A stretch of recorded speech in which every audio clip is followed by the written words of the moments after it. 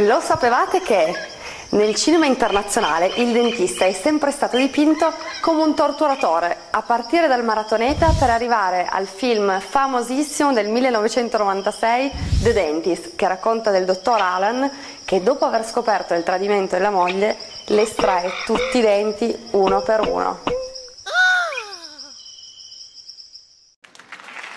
Lo sapevate che negli ultimi anni la figura del dentista nei film ha assunto un aspetto più ironico e goliardico, come in Django e Una notte da leoni. E come dimenticare i pesciolini di Nemo nascosti nell'acquario che criticano e commentano le procedure del dentista in diretta.